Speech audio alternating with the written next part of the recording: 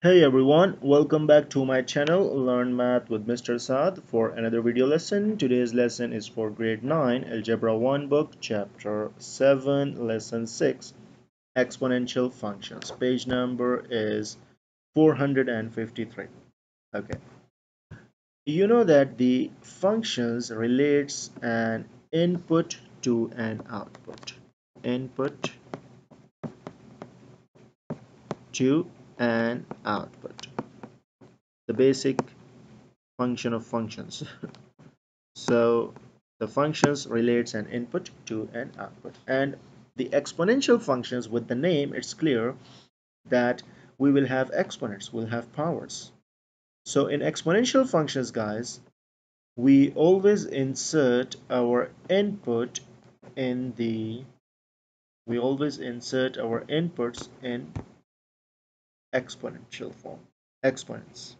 Like this is the generic uh, form of an exponential function and that is y is equals to a times b to the power x. Now you can see that we are inserting x is input y is output. So we are inserting our input in the place of an exponent in the place of power okay now there are some rules where a is not equals to 0 if you have a 0 here whatever the value you put as an x and whatever the b when finally you multiply it with a the whole thing will always be equals to 0 so a cannot be 0 the second rule b must be greater than 0 and b cannot be equals to 1 b is not equals to 1 why b is not equals to 1 guys? If b is equals to 1 whatever the value whatever the power you give to the b it will always be equals to 1 whatever the power 1 half always equals to 1 so you will always keep on getting the same value of a here. So b cannot equals to 1 now the forms the when you plot the exponential functions in graph you will see always this kind of shapes guys. These fours one two three and four. Either this one this one or this one or this one. Okay. Let's do something. Here they give us four exponential functions. This one one two three and four. Let's uh, uh, find out one of them and draw it okay and we will relate these four functions with the generic equation. Like here you can see that y is equals to 2 to the power x. Okay we can see that bx this is 2x so b is 2 then what is a? A is missing here. So it means a is equals to 1 similarly if you see this one b is 2 and a is equals to negative 1 for this one.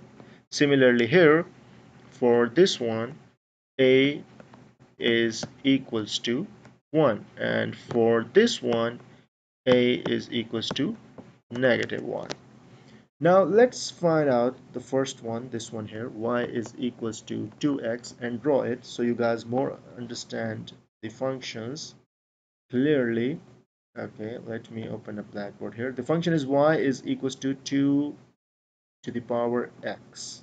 Okay let's do it guys.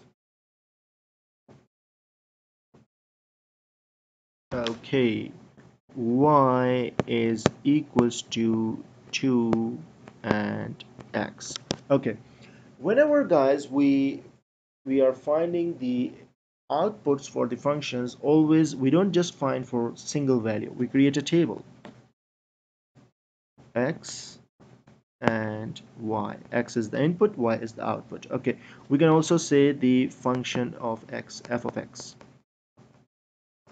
If we have more functions we use other names like g of x and more other names. Okay now let's say for example if we take a range of uh, let's we'll graph so we'll see also. We're taking simple values let's say negative 1 here negative 2 negative 3 similarly here 1 2 and 3 and this one is 1 2 and 3 and down here negative 1 negative 2 and negative 3 okay if I say that x is equals to let's say negative 2 so it means I have to place negative 2 in this place this one here to the place of x. I have to place the negative 2 here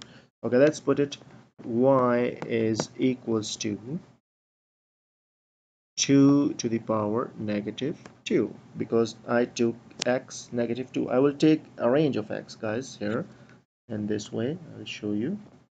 Negative 2 then I will take negative 1 then 0 then 1 and then 2 I will take the values until I get a clear shape of my graph okay? So we can take for example negative 4 to 4 or negative 2 to 2 normally just some values simple values okay now let's solve this one. You know that when we have the negative power we take the reciprocal. So that is equals to what boys? 2 over. Oh sorry. Not 2 over. That is equals to 1 over 2 to the power 2 2 to the power 2 that is equals to 1 over 4 which means 0 0.25 so here when x is negative 2 y is 1 over 4 similarly if you put negative 1 to the place of x here you will get y is equals to 1 over 2 if you insert 0 anything that have 0 equals to the power of 0 that is equals to 1 we studied this in the first lesson and for 1 it will be 2 and for 2 it will be 4 what I'm doing guys I'm inserting the values of x here and finding it in this way. Okay for positive values we straight away take for example if it is 1 so 2 just 2 if it is 2 so 2 to the power 2 that is equals to 4 now let us plot the points. If I have negative 2 as x which is here negative 2 so y is 0 0.25 it means little bit here. Okay similarly if it is negative 1 so y will be half half of 1 here inside this one. Okay if x is 0 so y is equals to exactly 1 exactly at 1 okay. If x is 1 so y will be 2